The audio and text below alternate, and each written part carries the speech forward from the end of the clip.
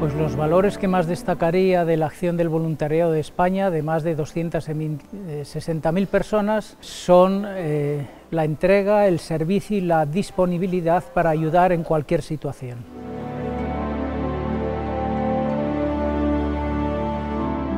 La sociedad puede aprender del voluntariado la necesidad de estar a disposición de los demás siempre que lo necesiten.